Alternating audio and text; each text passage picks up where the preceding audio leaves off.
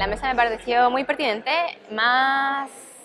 más aún hoy en día, en el contexto nacional, del ministerio, de las colaboraciones que se pueden potenciar a través de eso. Eh, siento que la mesa tiene particular importancia en cómo queremos plantear la, la, educación en el futuro, pero la educación y el impacto de la robótica en cómo enseñamos también. Primero en cómo enseñamos y segundo en, lo que, en cómo utilizamos el robot,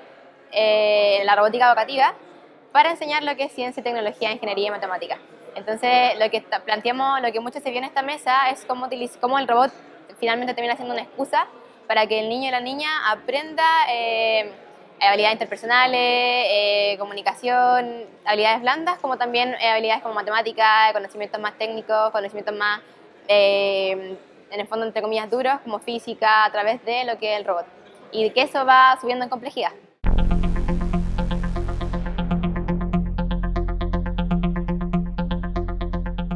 Japón tiene un modelo educacional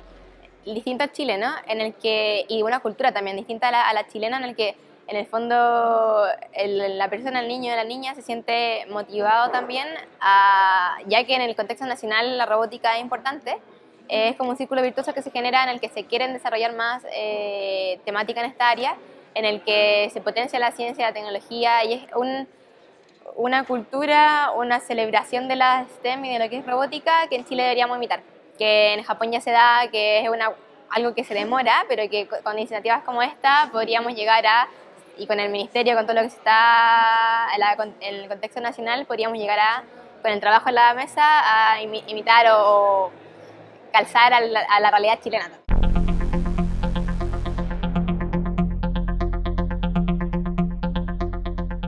Los japoneses tienen una, una cultura que respeta sus tradiciones por un lado, pero que también lo, han acomodado a la realidad actual, en la realidad en que ellos entienden la tecnología y la robótica como una herramienta que más que venir a, destruir el mundo y a quitar algunos trabajos, lo, entienden como algo que se tienen que adaptar hoy y que lo tienen que eh, tomar para que ayuden a sus labores cotidianas. Por ejemplo, ya los taxis son automáticos, eh, desde esa automatización que es de la, vida, de la vida cotidiana hasta que los baños son distintos y que utilizan otras eh, digamos, cosas que facilitan su día a día, eh, pero que se han, se han incorporado y se han visto como una herramienta más que, que, que, le tengan como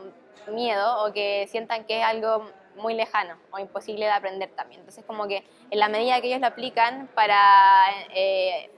cosas cotidianas y para algo que involucrarse y resolver problemas del día a día y, y, entienden algo como la tecnología como una herramienta, como un martillo que no va a destruir, sino que construir, eh, potencian, potencian esa área y se ven como líderes hoy en día.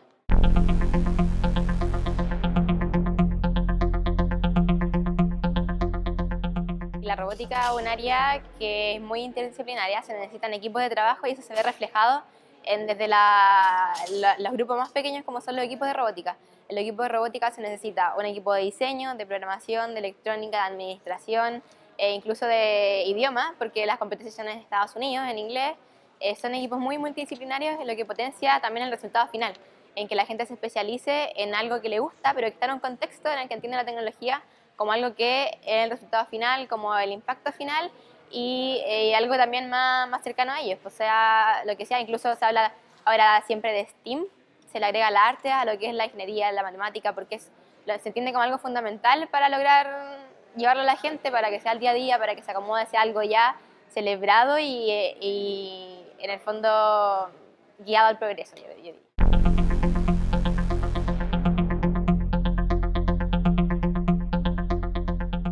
Si el barco de la juventud se gestó, dado que Chile ha invitado, bueno, Japón, el gobierno de Japón, invita a 11 países eh, al año y da las relaciones diplomáticas con Chile, se invitó este 2019 para ser parte de la versión número 31 del barco. Lo que se hizo es que la Embajada de Japón encargó al INJUF para convocar y la convocatoria se hizo mediante organizaciones, fundaciones, en las que se hizo una convocatoria interna y luego postulaciones al Barco de la Juventud. Yo esta, en esta oportunidad estoy como líder de la delegación y lo que vamos a hacer allá son intercambios culturales, seminarios, aprender de la cultura japonesa y representar a Chile de la mejor manera.